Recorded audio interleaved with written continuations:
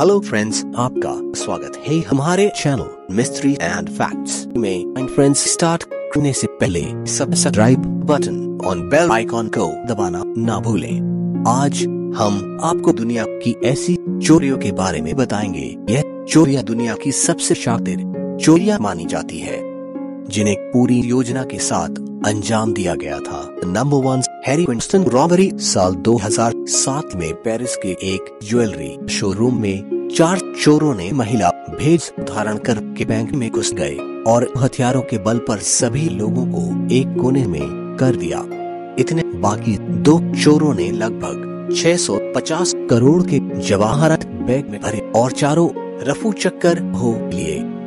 जब चार साल बाद इन चोरों को पकड़ा गया। तो इनके पास केवल 150 करोड़ के जवाहरात ही बरामद हो पाए। Number two the great truck robbery यह चोरी सन एक में घटी थी, जिसे 15 चोरों ने मिलकर अंजाम दिया था। चोरों ने सबसे पहले ट्रेन को नकली सिग्नल दिखाकर रोक लिया और फिर उस पर जबरन कब्जा भी जमा लिया। जिसके बाद वह ट्रेन में मौजूद 200 करोड़ रुपए लेकर नौ दो ग्यारह हो गए। कई सालों की मुश्किल के बाद पुलिस ने फिंगर प्रिंटर के ज़रिए चोरों को पकड़ तो लिया, लेकिन उनके पास कोई पैसा नहीं बचा था। Number three central bank of Iraq, Baghdad, साल 2003 में इराक की राजधानी बगदाद के एक बैंक में सबसे बड़ी चोरी को अंजाम दिया गया था। कहा जाता है कि अमेरिकी आर्मी के इराक पर हमला करने से पहले खुद सद्दाम ने बैंक को एक नोट लिखा था, जिसमें बैंक की तिजोरी में रखी सारी रकम सद्दाम के बेटे कुजे के हवाले करने को कहा गया था। दुनिया की इस सबसे बड़ी चोरी में बैंक से 920 मिलियन पाउंड करीब छह हज़ार करोड़ रुपए लूट लिए गए थे।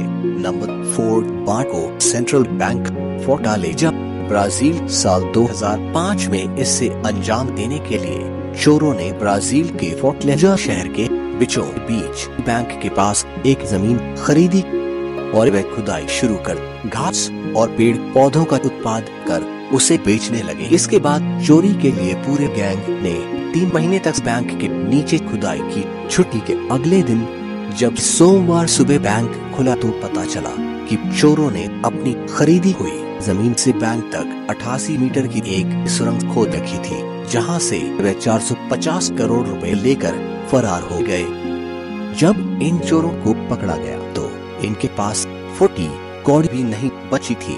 Number five northern bank robbery साल 2004 में नॉर्थन आइलैंड में बेलफास्ट शहर के एक बैंक में 320 करोड़ रुपयों की चोरी हो गई। इस चोरी में बैंक कर्मचारियों का भी हाथ था, जिसके पीछे की वजह बाद में पता चली कि चोरों ने चोरी से कुछ दिन पहले बैंक कर्मचारियों के परिवार वालों को बंधक बना लिया था बैंक कर्मचारी इसके बाद पूरी तरह से लाचार थे और यहाँ तक कि उन्हें कहा गया कि अगर उन्होंने बैंक रॉबरी में चोरों का साथ नहीं दिया तो वह उनके परिवार वालों को मार देंगे। और फिर चोरी वाले दिन इन बैंक कर्मचारियों को बैंक में देर तक रुकने के लिए कहा गया। और तभी यह चोर बैंक का सारा पैसा चुरा ले गए।